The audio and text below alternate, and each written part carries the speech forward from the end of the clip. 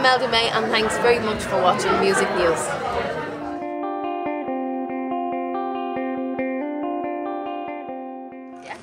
Imelda May, it's a pleasure to meet you. Nice to meet you. Merry Christmas Eve. Thank love, you. The, love the jumper. Oh yes, yes. Hey. with it. Uh, We're here at uh, Abbey Road for Carols by Kindlelight. Uh, Yeah. How did you get involved and what can we expect? Oh, um, well, I was only asked actually last minute, and um, this was our day off. Me and the lads were on tour, so I had the d- I had the day to do. So, yeah, let's go for it. What are you So, going to be um, singing? Um, baby, please come home. Uh huh. Great. Darling, love, great song. Great Yeah, song. yeah, superb. You know, just see you out there with the families. It's a real good period. Up, coming up to Christmas then. Oh Obviously embracing yeah, it. yeah. I know this is that's that's just me normal. Babies on the road. Yeah, that's, yeah, that's yeah. normal. Us, us all on the road together. But yeah, um, I'm gigging up until the 20th. We finish. Our t- we went on tour in April. And we finish on the tw- 19th and 20th of December in the O2 in Dublin. So that's going to be really good fun because there's going to be hundreds of my family going to it, and then uh, I'll stay there for a couple of days and then get back home and hopefully Yeah, do as little as possible. Definitely. Yeah, I'll cook a big dinner, feed everybody, eat as much as I can, and then just do the same as everyone else.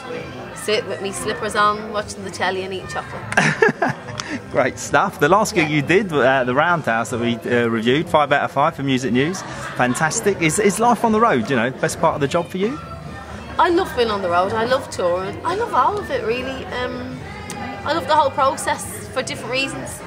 So I love the quiet time where I write my album on my own. Yeah, yeah. Um, I love rehearsals in with the guys. Um, you know, seeing it, I'll feel it all come together. I love getting into the studio recording. I pro- produce my own albums. Um, this one, Tribal, that I did was Yeah. the first I co-produced with Mike Crossey. That was great. So I love uh, producing. I love um, twiddling around with all the knobs and getting the sounds I want and getting the great performances out my fabulous band uh, mix and mastering everything, getting the artwork together, and then getting on the road, and then off we go for a good chunk of the year. So it's yeah, all yeah, different. absolutely. No, no, but I mean, with Tribal, how, how, you know, back in April you released it. I mean, were you pleased with the way it was received? And if you had to, if you could look, you know, looking back is always different. But is there anything you would change about the album now? No, I'm happy with the album. Um, I'm, I'm very happy with it because I think an album is like a little moment in time for anybody. I think that's right. And you can always go back and do various things, but it has to be that period of time. And Definitely. I don't think for me, I can't make myself write a particular album. That is what I need to write at that time. So it's a little, a little just period of your life, and I like that. I like that about an album that you have to you know, step back and, and leave it, and then Yeah. when you go on to the next album, that's the album that you need to make then. You know, I don't think you can change that. For, for me, I can't force it one way or another. You know, that's Yeah. what I feel like making. Because for me, I have to be able to put my full heart and soul into it, and you can't do that if it's not true to what you're feeling at that time. Does that No, no, sense? absolutely does. So no, I wouldn't go back and change. I'm happy, and it went really well. I went up to number one in Ireland, Yeah. number three in England, and around the rest of the world, it's done pretty solidly for the kind of music that I do. I'm not mainstream for Yeah, so yeah, number yeah. one, number three is amazing for me, and It's only um, becoming mainstream. it's, It's, great. changing. But it's really, it's really good. The, for me, it's about um, the gigs, really more than anything else. I'm not like an, um, I would never be in singles charts or anything like that. For me, it's when we go out gigging and I can see that it's the ve- venue is packed when you're in the middle of nowhere in Germany or up a mountain in America or you know wherever you are, England, Ireland, Scotland, anything. Um, and I just love to see the venues are packed. Yeah, Yeah, America. it's doing well. So it's, yeah, chocolate block, great, great gigs, and um, so that's kind of the icing on the cake for me because it means you're getting, you're getting your music to people Sure, and people sure, are sure. enjoying it and they want to spend their hard-earned cash and take the effort to go and see you, you know, and I Yeah, love yeah. that. And then you have a big party all together, and it's it's um.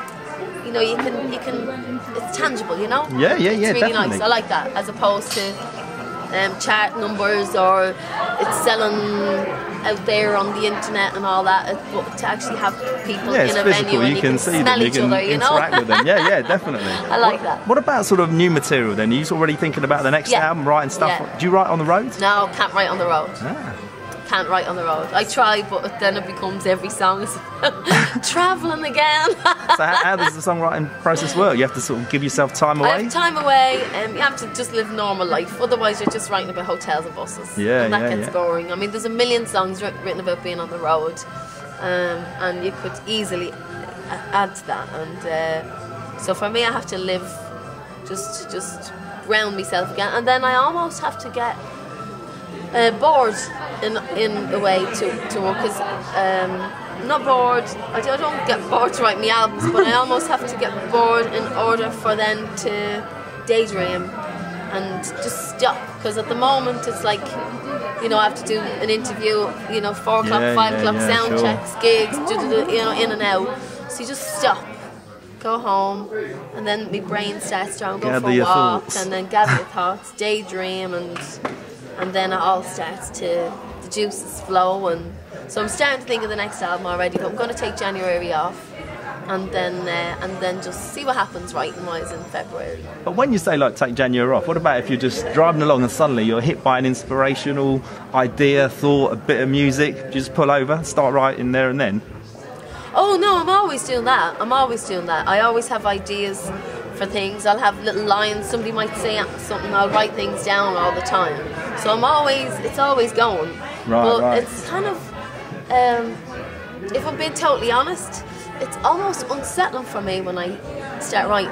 I mean, properly start writing for an album. I'm always writing little bits, but it's almost unsettling for me, um, and I almost have to keep that closed in order to either live a normal life or, or, or get on with my normal day, which which is gigging. Um, it's like open floodgates, and you have to. Because I have to write honestly, so you have to kind of pour it all out, whatever way Yeah, it yeah, comes. yeah. And it, you, I couldn't live like that emotionally every day. So I, I do definitely let it all out in order to write, and then I, I almost have to contain it again. don't know if that. Yeah, no, sense. no, no, it does. So Yeah, that- that's, that's the only to way I can capture do that, it. that, that emotion, I suppose. So I'm isn't it? always getting inspiration as I go, but to then actually properly focus and, and write an album, then work on it, and then the technical getting arrangements sorted and who's playing what where and how to open it, end it, where the middle's like, you know, all that kind of stuff. I love all that stuff. Yeah, yeah. I mean, um, you know, here. really boring long answer. I'm sorry. no, no, no, absolutely not. I mean, here you say, you know, I just saw you grabbing hold of your daughter any second Yeah. you can get just before the interview. I'm sure you'll do it just afterwards. But you know, you have been quite successful this year. You know, coming up, the, the whole your whole career has sort of been building up to. Well, I suppose it's always this moment uh, as it is now, and um, you know, it has been successful in, in in Ireland, in America, finally the UK as well. Is really appreciating your sound. Do you think is this sort of you know you're a mother as well? Obviously, in the last couple of years, are all the bits of the jigsaw coming together and think this is the happiest you've almost ever been? Oh no, no, no! You, I think I don't think it can ever be like that because then you'd, you just sit on your laurels. No, no, I don't think you ever think. Uh, there has to be longings. You know, you have to try and. That's life, isn't it? Yeah, never. yeah. You, you're always But striving. is it a good period? I should probably Is it a good period? Yeah. Yeah, absolutely. Yeah, absolutely. Happy doing what I'm doing. Um, I'm delighted to have my daughter um, on the road with me, and she's at a great age. You Yeah, know, she's yeah. Two, and she's she's keeping us all entertained on the bus. What's her favourite Imelda May song? oh, she doesn't like me to sing. she doesn't want me to sing. She likes to sing. I have to be quiet. Yeah. Ah, yeah, well, yeah. there you go. She sings. She sings to me. a star in the making. yeah, yeah. She's very bossy. yeah, good, good. typical two-year-old, you know. She sings Balamory to me a lot.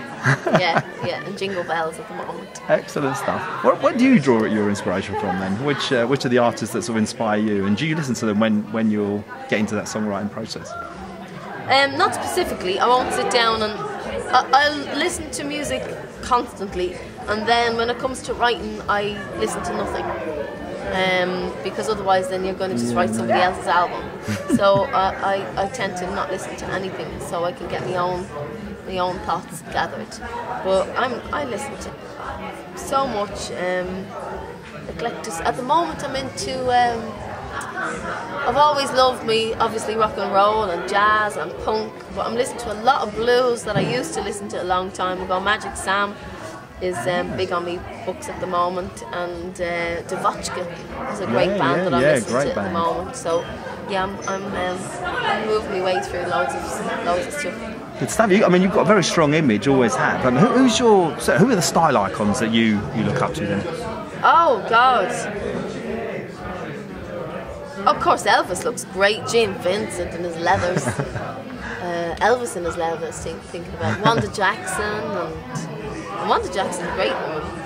Um, but I, I don't really think it's, it, it doesn't dwell on my mind.